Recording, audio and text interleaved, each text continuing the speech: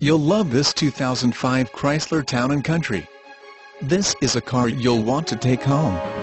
With 118,245 miles, it features automatic transmission and an exterior color of tan. Call us and be the first to open the car door today.